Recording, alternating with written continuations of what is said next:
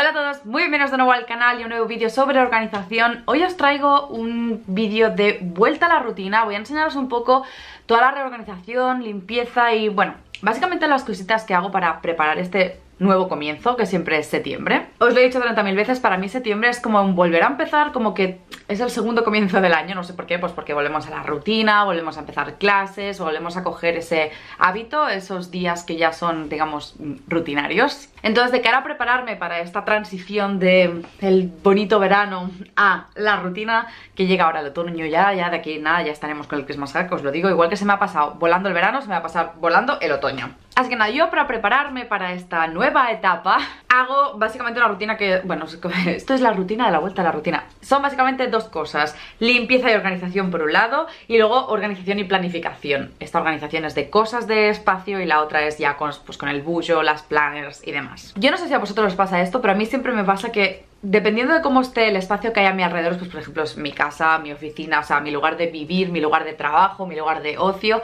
influye muchísimo en mi humor, en mis ganas de hacer cosas, en mi productividad, entonces de cara a preparar esta transición de que venimos del verano, de que es un horario más relajado o hemos venido de vacaciones o lo que sea, pasamos ahora a un horario pues más rígido, con rutinas, con obligaciones y demás. Entonces lo que hago yo siempre es coger por banda todo el piso, absolutamente todo el piso y reorganizar, o sea, un despeje general y limpiar. Lo primero que hice, primero de todo, fue eh, montar otra vez la oficina porque sabéis que me hice aquí justo en este rinconcito, me puse uno de los escritorios que tengo en la ofi porque en verano fue imposible trabajar allí porque hacía muchísimo calor, entonces aquí tengo aire acondicionado, así que los días que tenía que estar aquí pues machacando, trabajando y tal, eh, pues al final acabé montándome una mini office de verano aquí, pero ya os dije que será temporal, que, que lo iba a cambiar igualmente al volver a comenzar porque yo necesito todo mi espacio bien todo puesto, se me quedaba un poco pequeña esta mesa, pero bueno, para estos días de verano que he necesitado trabajar aquí y un poco de fresquito, ha ido bien. Así que empecé por eso, moví el escritorio otra vez a la oficina, puse aquí otra vez el, rinconcito de grabar, despejé todo lo que tenía de papeles acumulados, archivé, estuve quitando pues todo lo que sería pues el polvo de las estanterías, reorganizando los libros que tenía en las estanterías, hice un poquito de limpieza también de algunas cosas que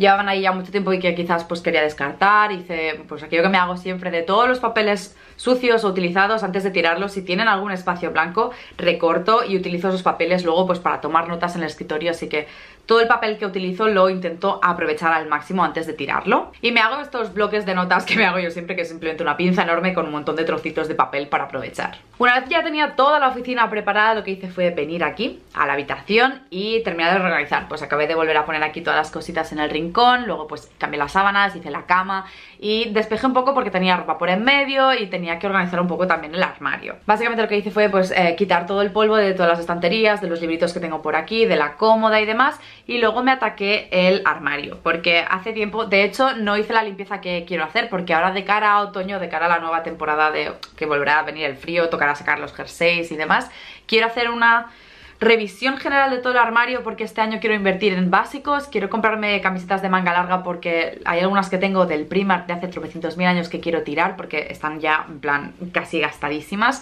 entonces quiero mirar de... Mm, quiero hacer un inventario general de todo lo que tengo y ver realmente si qué necesito comprar, por ejemplo sé que necesito camisetas de manga larga de estas típicas de llevar debajo del jersey, jerseys como mucho me quiero comprar uno beige porque jerseys tengo un montón, pero es que los jerseys y las sudaderas son mis básicos para otoño e invierno, es que y me encantan. Y quiero mirar de aprovechar pues más pues algunos vestidos largos que me he comprado para este verano, pues que me los pueda poner con medias y botas en invierno, bueno, hacer como un poco de overview general de toda la ropa que tengo y, ver qué puedo adaptar de cara a otoño e invierno y hacer una lista de la compra realista de simplemente comprar las cosas que realmente necesite porque tengo muchísima ropa, entonces quiero, quiero hacer esta limpieza, saber exactamente todo lo que tengo y no comprar luego cosas repetidas o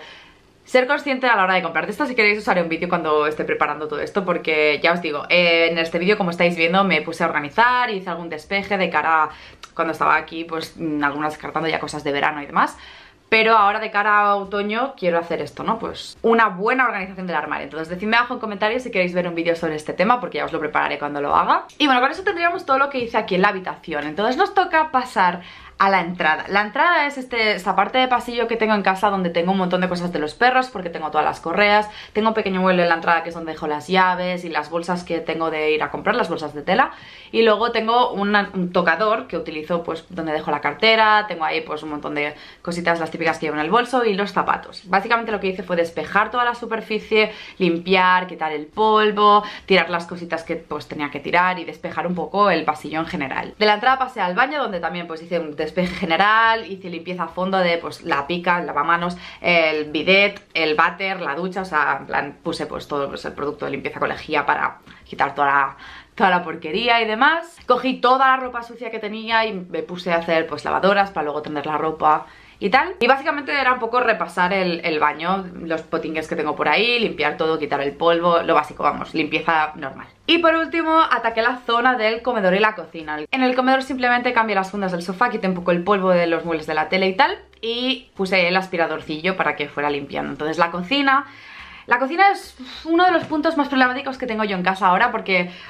a pesar de que la despejé y que reorganicé todas las cosas, como estaréis viendo, que estuve pues sacando todas las cosas que tengo en el rincón porque es donde guardo los sacos de pienso, tengo 40.000 cubos de basura, en plan, el cristal, el papel, el plástico, es como que el orgánico, tengo muchos, o sea, diferentes para, para reciclar. Y ese rincón sigue sin, con, no, no me gusta, o sea, es, lo veo la cocina es uno de los puntos que siempre está como súper abarrotada de cosas y me da mucha rabia y eso quizás en un futuro hago otro vídeo porque quizás planteo cómo reorganizar los armarios y encontrar una manera más eficiente de distribuir las cosas en el espacio, pero bueno, de momento simplemente como veréis en el vídeo pues estuve organizando un poco el rincón, pues quitar la basura y luego hice pues limpieza, fregué los platos, limpié todos los mármoles, los fogones y demás, bueno, la limpieza normal de la cocina. Esa sería toda la primera parte de esta rutina, que es la limpieza y despeje general del espacio donde vivo y trabajo, porque es lo que os digo que influye muchísimo luego en mi, en mi bienestar directamente. La segunda parte de este vídeo ya sería la organización y planificación del tiempo, de todas las cosas que quiero hacer, rutinas, hábitos, bueno, básicamente todo lo que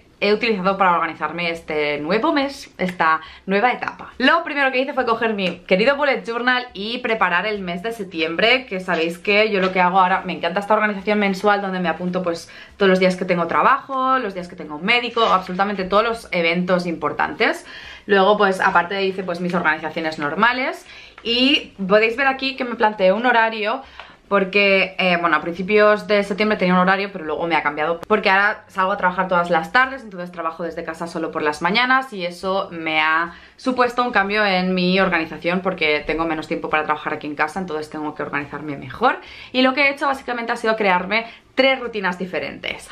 locura, sí. Tengo la rutina de mañana, que es todo lo que hago desde que me levanto hasta que me siento en el escritorio. La rutina de noche, que es cuando vuelvo de trabajar, pues sacar los perros, la cena, tal, tal, tal, tal, hasta la hora de irme a dormir. Y luego tengo una rutina de estudio porque ahora, como sabéis, ya me he graduado, ya no estoy en la universidad, pero estoy estudiando japonés porque me estoy preparando para presentarme en diciembre al examen de nivel que es el Noken, al 5, que es el más básico. Y aparte, eh, si me seguís en Instagram ya sabréis que me voy a Japón en marzo, así que estoy a tope con japonés para, para cuando vaya, pues poder comunicarme y entenderme